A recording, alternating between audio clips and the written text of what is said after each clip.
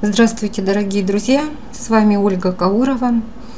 По просьбе своих друзей, товарищей делаю мини-видео, такую заметку о том, как передать файлы, большие файлы, легко и просто через начну с Яндекс Диска, потом покажу на Google диске и через облако Mail. Э, открываем страничку в браузере Яндекс.ру если у вас по умолчанию не заходит ваш аккаунт, то надо зайти, если он у вас там есть. Если нет, то рекомендую очень завести. Яндекс Диск э, для меня наиболее любимый инструмент для передачи информации. Заходим.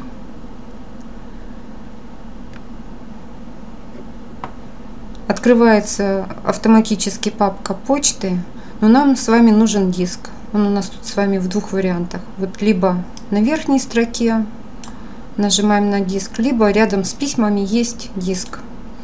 Заходим в наш диск и в левой верхней части мы видим значок «Загрузить».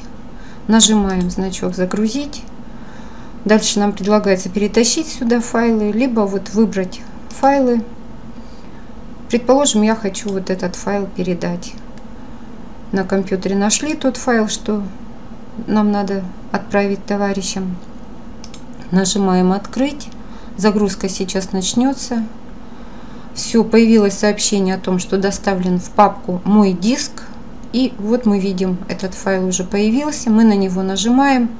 В левой нижней части у нас появилось отображение этого документа. Мы можем его посмотреть, скачать. В правой части, что нам, собственно говоря, и надо, появилось э, сообщение о том, что публичная ссылка, она сейчас выключена. Мы нажимаем на эту кнопочку, включается публичная ссылка, автоматически отражается ссылочка на этот документ. Я выделяю, нажимаю правой клавишей мыши, появились опции, нажимаю копировать Теперь мне остается только передать эту информацию. Предположим, я отправлю эту информацию, ну, скажем, вот самой себе. У меня два скайпа открыты. Э, давайте я здесь сейчас эту ссылочку вставляю, нажимаем «Отправить». И теперь, как пользователь, я вижу, что у меня пришло сообщение. Для того, чтобы получить достаточно навести мышь на эту ссылку, что нам отправили.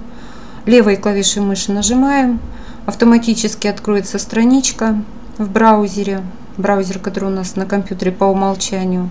Нажимаем. Вот мы видим о том, что открылся Яндекс Диск, и нам предлагается сохранить на Яндекс Диск. Очень рекомендую Обычно еще появляется сообщение о том, что скачать или э, сохранить на Яндекс Диск. Э, ну вот у меня сейчас почему-то этого сообщения нет, сразу предлагается сохранить. Э, но зато здесь есть кнопочка «Скачать». Не рекомендую сразу скачивать. А сначала, если это файл большого размера, то все-таки сначала сохранить на Яндекс Диск, а потом уже оттуда скачать.